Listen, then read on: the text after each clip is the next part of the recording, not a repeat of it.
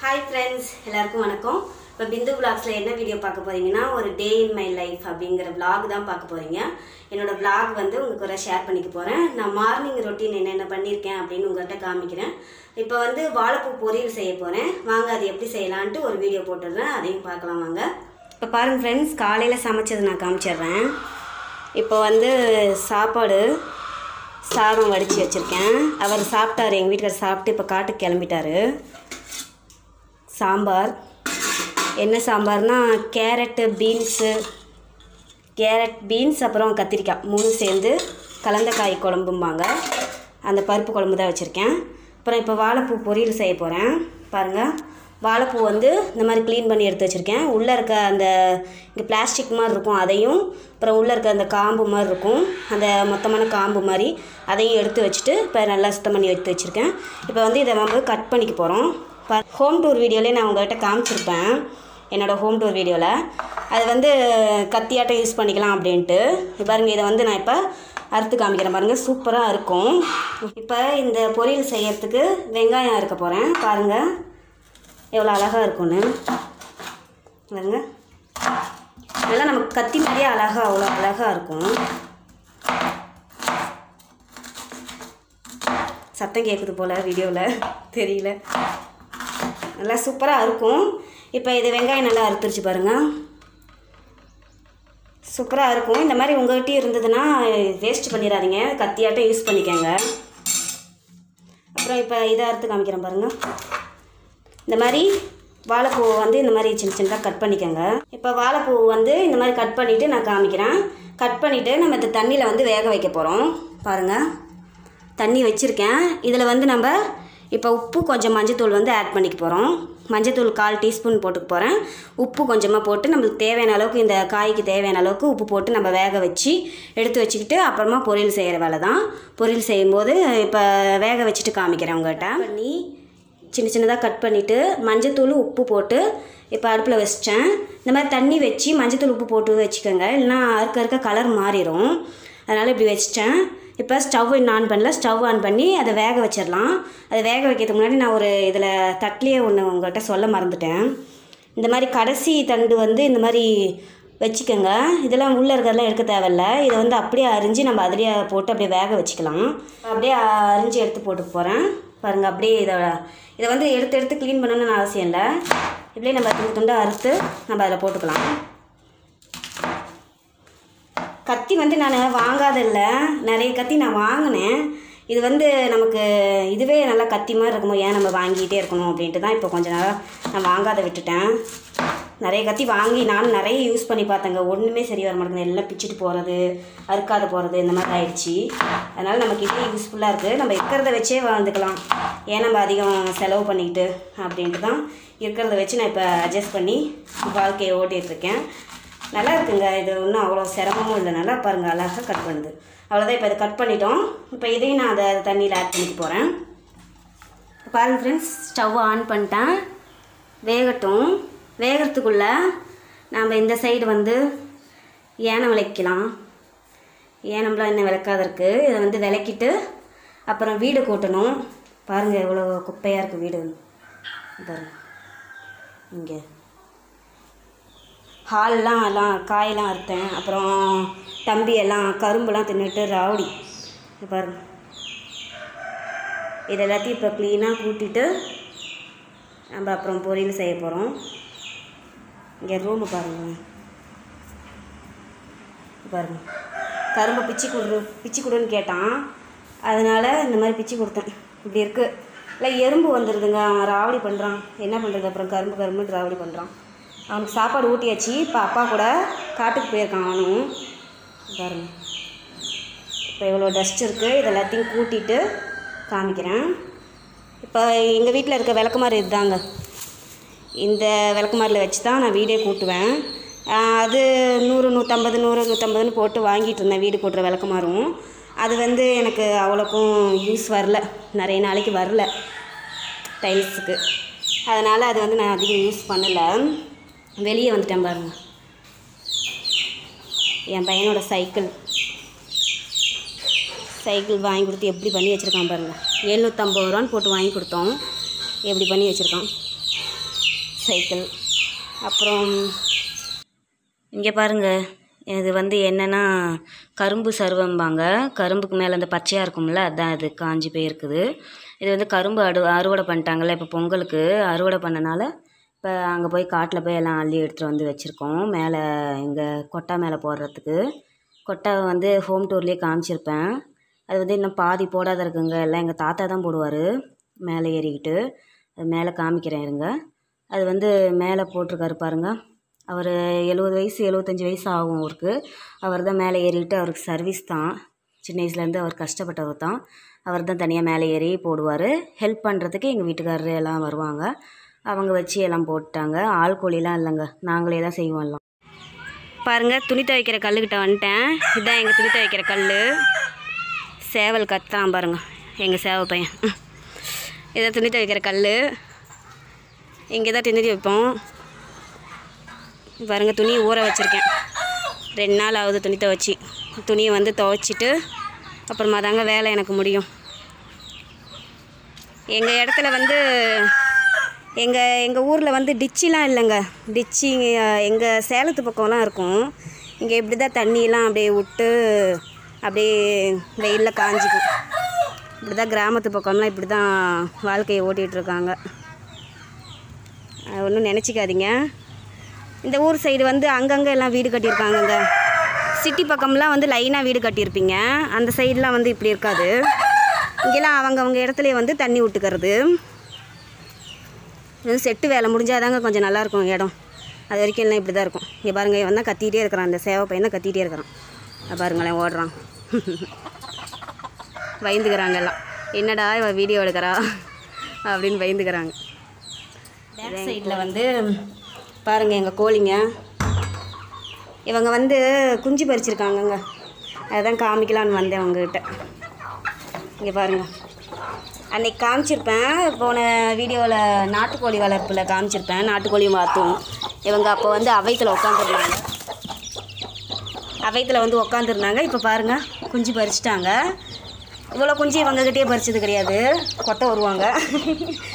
அப்புறம் இவ்வளோ குஞ்சு இவங்ககிட்ட பறிச்சது கிடையாது. இன்குபேட்டர் வச்சுருக்கோம் இல்லைங்க. அதில் வந்து பறிச்சிட்ருக்கு இப்போ குஞ்சு. பாருங்க. அதில் வந்து கோழி குஞ்சு இப்போ பறிச்சிட்டு இருக்கனால அதில் இருக்கிறது இதோடய சேர்த்து விட்டுருவோம். நல்லா பார்த்துக்கும் பாருங்கள் எவ்வளோ அழகாக இருக்கும் ஆமாம் கொத்த வராங்க. ஆ? வீடியோ எடுக்கக்கூடாதான் வீடியோ எடுப்பேன். என்ன பண்ணுவ? ஆ ஆ. சரி இப்போ நம்ம வந்து காடை பார்க்கலாம். வாங்க காடையும் வச்சுருக்கோம். முட்டை வச்சிட்ருக்கு இப்போ. நெக்ஸ்ட்டு காடை பிளானிங் தான். அதில் என்ன வருமானம் வருது எங்களுக்கு ஒன்றும் தெரியல. ஆனால் வருமானம் வருதுங்கிறாங்க. ட்ரை பண்ணி தான் பார்ப்போமே. முட்டையில் வந்து நிறைய சத்து இருக்குங்க. பையனுக்கு டெய்லியும் கொடுத்துட்டு தான் இருக்கேன். நாட்டுக்கோழி முட்டை காடை முட்டை ரெண்டும் கலந்து அவனுக்கு கொடுப்பேன். வறுத்து சாப்பிடுவான் நல்லா. இப்போ வந்து முட்டை இன்னும் வைக்கல. காலையில் எடுத்துட்டாரா என்னன்னு தெரியல எங்கள் வீட்டுக்காரு. இப்போ இன்குபேட்டர் பார்க்கலாம். பாருங்கலாம் எல்லாம். இஞ்சி பறிச்சிருக்கு பாருங்கள் அழகா. இது வந்து நாங்கள் வெளியே வாங்கி முட்டை வச்சு கூட பறித்து கொடுப்போம். அவங்களுக்கு வந்து பறித்து கொடுத்துருவோம் குஞ்சு. இப்போ வந்து இது எங்கள் குஞ்சு பறித்தது எங்கள் கோழி குஞ்சு இது எல்லாமே நாட்டுக்கோழி குஞ்சு தான். நாங்கள் வந்து வேறு எந்த கலப்படமும் கிடையாது நம்மக்கிட்ட நாட்டுக்கோழி குஞ்சு தான் நாங்கள் வந்து இப்போ இது பறிச்சதுன்னா நல்லா பெருசாக்கி வித்தால விற்றுக்குவோம் இந்த வந்து ஒரு மாதத்து குஞ்சாகவும் வித்தால விற்றுக்குவோம் இப்போ வந்து தாய் கூட இதை எடுத்து விட்டுருவோம். அந்த தாயை எல்லாம் பார்த்துக்குவோம். உள்ளேயும் இன்னும் முட்டை இருக்குது அதெல்லாம் எங்கள் முட்டை? இது வந்து வெளியே வாங்கின முட்டை. இது என்ன முட்டைனா இதுதான் காடை முட்டை. காடை முட்டை ஒரு அண்ணன் கொடுத்தாரு. அது வந்து அடியில் வச்சுருக்காருன்னு நினைக்கிறேன். அவர் வந்து பறித்து கொடுக்க சொல்லி கொடுத்தாரு. அந்த முட்டையெல்லாம் அடியில் இருக்குது இது இப்போ எங்களுதுன்னு நினைக்கிறேன். பாருங்கள் எவ்வளோ அழகாக இருக்குன்னு. அப்படியே பார்க்கும்போதே அவ்வளோ சந்தோஷமாக இருக்குங்க. அவ்வளோ அழகாக இருக்கு பாருங்கள் சரி இப்போ இதை க்ளோஸ் பண்ணி வச்சிடலாம். ஒன்றும் ஆகாதுங்க இங்கே வந்து ஹோல் இருக்குது கோழி குஞ்சுக்கு எதுவும் ஆகாது எவ்வளோ நேரம் அதில் இருந்தாலும் ஒன்றும் ஆகாது இப்போ வந்து அது முடி மேலே இருக்க முடியெல்லாம் ஈரம் காஞ்சதும் நாங்கள் வந்து எடுத்து வெளியே அந்த கோழிக்கிட்ட தாய் கூட விட்டுருவோம். பாருங்கள் பறித்த முட்டையெல்லாம் இங்கே இருக்குது எல்லாம் பறிச்சது. இப்படி தான் கோழி குஞ்சு வெளியே வரும். சிட்டி பக்கம் இருக்கவங்கெல்லாம் பார்த்துக்கோங்க. இப்படி தான் வரும். அதுவாக உடச்சி தாங்க வரும். தாய் கோழிலாம் கொத்தாது. ஒருத்தவங்க அப்படி நினச்சிட்டு இருப்பீங்க. எங்கள் ஊர்லேயே நிறைய பேர் அப்படி தான் நினைக்கிறாங்க மிஷினில் வச்சா அதுவாக தான் கொத்தி வரும். தாய் கூட இருந்தாலும் கோழி குஞ்சாக தான் கொத்தி வெளியே வரும். இப்போ அவ்வளோதாங்க காமிச்சிட்டேன். இப்போ யானை வளர்க்கணும். இது வந்து இந்த கிளிப்பிங் வந்து உங்கள்கிட்ட காமிக்க வீடியோ எடுத்தேன். இது வந்து ஹோம் டூரில் மிஸ் ஆகிடுச்சி இது என்னென்னா கோழி தீவனம் தாங்க எல்லாம் அந்த பாருங்க. கோழி தீவனம் இது வந்து அரிசி இது கோழி தீவனம் இதில் வந்து கோதுமை இருக்குங்க. இது வந்து எல்லாம் மிக்ஸ் பண்ணி அரைச்சி எங்கள் வீட்டுக்கார் கோழிக்கு போட்டுருவார். இந்த கிளிப்பிங் வந்து காணாமல் போயிடுச்சு. ஹோம் டூர் வீடியோவில் எடுத்தேன். அது காணாமல் போயிடுச்சு. அவ்வளோதான் இப்போ வந்து நான் பாத்திரத்தை விளக்கிட்டு நான் வீடெல்லாம் கூட்டணுங்க அதெல்லாம் வீடெல்லாம் கூட்டிகிட்டு நான் காமிக்கிறேன். பாருங்கள் ஃப்ரெண்ட்ஸ் காய் நல்லா வெந்துருச்சு. வெந்துருச்சு என்னென்னு பார்க்கறதுக்கு நல்லா அழுத்தி பாருங்கள் அந்த மாதிரி நல்லா காய் வெந்திருக்கிறதுக்கு தெரியும். அதுக்கு பார்த்தீங்கன்னா தெரியும். நல்லா வெந்துருச்சு. இப்போ வந்து இதை வடிகட்டிக்க போகிறேன் நான். அங்கே இப்போ இதை வடிகட்டிட்டு வந்துடுறேன்.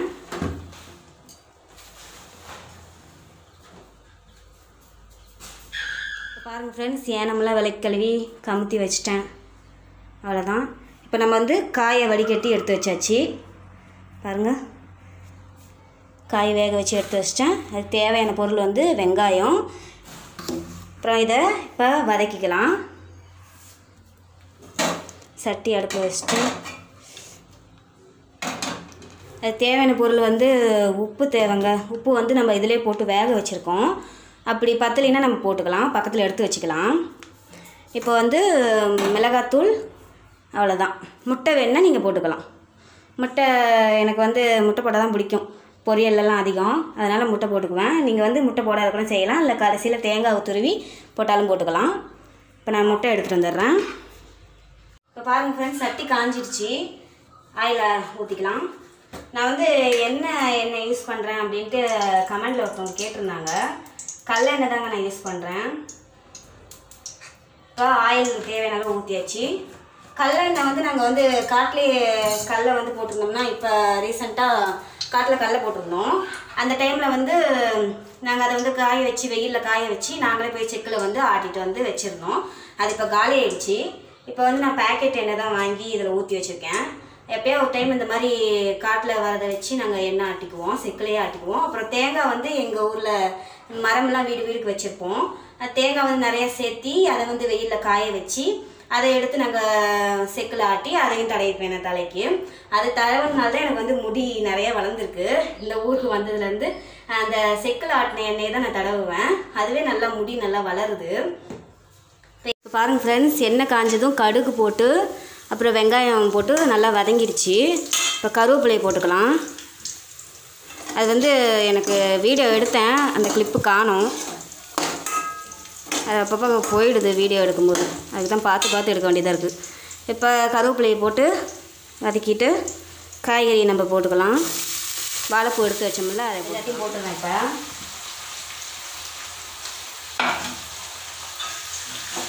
நல்லா வதக்கிக்கலாம் எண்ணெயிலேயே.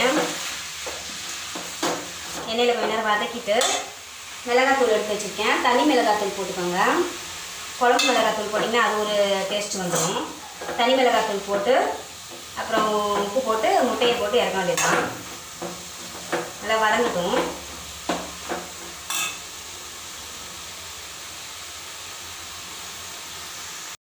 பாருங்க நல்லா எண்ணெயில் கொஞ்சம் வதக்கிட்டேன். இப்போ வந்து மிளகாத்தூள் போட்டு போகிறேன் மிளகாத்தூள் வந்து காரத்துக்கு தகுந்த மாதிரி உங்களுக்கு போட்டுக்கோங்க. எனக்கு காரத்துக்கு தகுந்த மாதிரி போட்டுக்கிறேன். காரம் அதிகமாக இருக்கும். அதனால் பார்த்து தான் போட்டுக்கணும். இதை கொஞ்சம் லைட்டாக வதக்கிட்டு டேஸ்ட் எப்படி இருக்குன்னு உப்பு போடுற டேஸ்ட் எப்படி இருக்குன்னு பார்த்து உப்பு போட்டுக்கலாம்.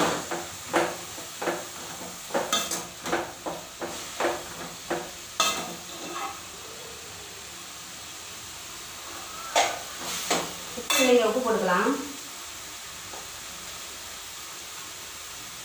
உப்பு நம்ம தண்ணியிலே போட்டு வேக வச்சாலும் இதில் இறங்க மாட்டேங்குது. அதனால தான் உப்பு கடைசியாக கொஞ்சம் போட்டுக்கிறது. பார்த்தே கொஞ்சம் போட்டுக்கோங்க அதிகமாக போட்டாலும் சாப்பிட முடியாது போயிடும். ஏன்னா நம்ம இவ்வளோ கஷ்டப்பட்டு இது எல்லாத்தையும் அந்த நார் எடுக்கிறது அந்த பிளாஸ்டிக் மாதிரி இருக்கிறதெல்லாம் எடுத்துட்டு இதை நம்ம செய்யறதுக்குள்ள போதும் போதும் ஆயிடுது. அதனால தான் இந்த பொரியல் வந்து அதிக பேர் யாரும் அதிகம் சேர்த்துக்க மாட்டாங்க. இது வந்து வாரத்துக்கு ஒரு டைமாவது செஞ்சு சாப்பிட்டு பா சாப்பிடுங்க. ரொம்ப நல்லது. வேலை அதிகம் இதில் இருக்குன்னு பார்க்காதீங்க. இது வந்து நானே தான் இவ்வளோ பூவும் நானே தான் இது எல்லாத்தையும் இந்த பிளாஸ்டிக் இருக்கிறது அந்த காம்பு இருக்கிறது எல்லாத்தையும் எடுத்து சுத்தம் பண்ணேன். யாருமே எனக்கு ஹெல்ப் பண்ணால் நான் வச்சுக்க மாட்டேன். நானே செஞ்சுருவேன் எல்லா வேலையும். அவ்வளோதான் இப்போ வதக்கிட்டோம். இப்போ இந்த தண்ணி தண்ணி இருக்குங்க. தண்ணி வந்து சுண்டட்டும். பாருங்க தெரியுதுல்ல?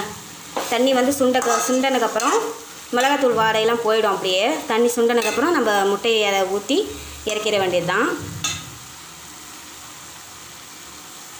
இப்போ மூடி வச்சுருக்கேன். லோ ஃப்ளேம்லேயே வைங்க. இப்போ மூடி வச்சுருக்கேன். சுண்டட்டும் தண்ணி அப்புறமா நம்ம முட்டையை பாருங்கள் நல்லா தண்ணியில் சுண்டிடுச்சு. இந்த மாதிரி ஒதுக்கி விட்டுட்டு இப்போ நம்ம முட்டையை எடுத்து ஊற்றிக்கலாம்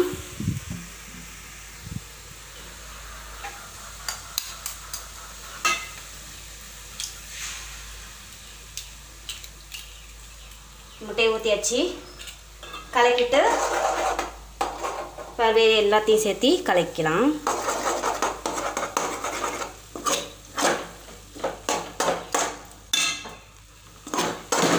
முட்டை வந்து நல்லா இதில் வதக்கி முட்டை லைட்டாக தெரியும். அந்த மாதிரி தெரிஞ்சதுன்னா ரெடி ஆகிடும் ரெடி ஆகிடுச்சி அவ்வளோதான் இப்போ ஸ்டவ் ஆஃப் பண்ணிக்கலாம். இப்போ சாப்பிட போகிறேன் வாங்க ஃப்ரெண்ட்ஸ் சாப்பிட்லாம். ஓகே அப்புறம் பொரியல் பாருங்கள் சுட சுட பொரியல் சாதம் குழம்பு கேரட்டு பீன்ஸு கத்திரிக்காய். இது மூணும் போட்டு குழம்பு வச்சேன். அவ்வளோதான் இப்போ எல்லாம் வேச்சு க்ளீனாக இருக்குது அவ்வளோதான் இப்போ இதோட வீடியோவை முடிச்சுக்கலாம். இதுக்கு மேலே சாப்பிட்டு துணி துவச்சிட்டு அப்புறம் ரெஸ்ட் எடுக்க வேண்டியது தான் அவ்வளோதான் ஃப்ரெண்ட்ஸ் இதோட வீடியோவை முடிச்சுக்கலாம். என்னோடய வீடியோவை பார்த்துட்டு லைக் பண்ணுங்கள் ஷேர் பண்ணுங்கள் இந்த வீடியோ எப்போ இருந்ததுன்னு கமெண்ட் பாக்ஸில் போய் கமெண்ட் பண்ணுங்கள் அப்புறம் என்னோடய சேனலை சப்ஸ்கிரைப் பண்ண மறந்துடாதீங்க. விவசாயிங்களுக்கும் சப்போர்ட் பண்ணுங்கள் அப்புறம் இப்போ காட்டுக்கு போயிருக்காங்க. என் பையனும் எங்கள் வீட்டுக்காரும் காட்டுக்கு போயிருக்காங்க. அவங்க அவங்கள அமுச்சிட்டு அமுச்சிட்டு நான் வீடியோ எடுக்கிறேன்னு நினச்சிக்காதீங்க. அவங்க வந்து எங்கள் வீட்டுக்காரு வண்டி எடுத்தாருன்னா என் பையன் ராவடி பண்ணி மே- வண்டியில் ஏறிக்கிட்டு கிளம்பிடுவான் அவனை சாப்பாடு ஊட்டி அமுச்சு விட்டுட்டேன். அவ்வளோதான் என் வீடியோவை பார்த்துட்டு சப்ஸ்கிரைப் பண்ணி வச்சுக்கோங்க. இதுக்கு மேலே நிறைய வீடியோ வந்து vlogலாம் நிறைய போடுறேன். மறக்காத சப்ஸ்கிரைப் மட்டும் பண்ணி வச்சுக்கோங்க. நன்றி. தேங்க்ஸ் ஃபார் வாட்சிங் பாய் ஃப்ரெண்ட்ஸ்